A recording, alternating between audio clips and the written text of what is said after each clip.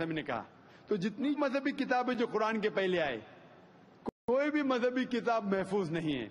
Hindu scholars खुद कहते हैं कि the Vedas have been changed Bible scholars खुद कहते हैं बाइबल हैव बीन चेंज्ड जितने मजहबी किताब के स्कॉलर्स कहते हैं कि उनकी मजहबी किताब में तब्दीली आ चुकी है।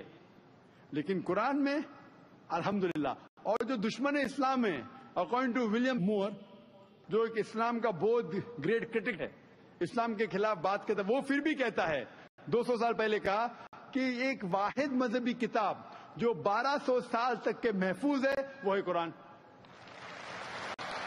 तो मज़हब एक ही है। अल्लाह में मानना, उसकी इबादत करना, उसके अलावा किसी की इबादत नहीं करना। और आखिरी पैगंबर मोहम्मद सल्लल्लाहु अलैहि वसल्लम, एक ही मज़हब। हम लोगों ने उसके गलत डिफरेंट डिफरेंट नाम दिए। तो मज़हब एक ही था। आपका आखिरी सवाल इतने डिफरेंसेस क्यों पैदा किए?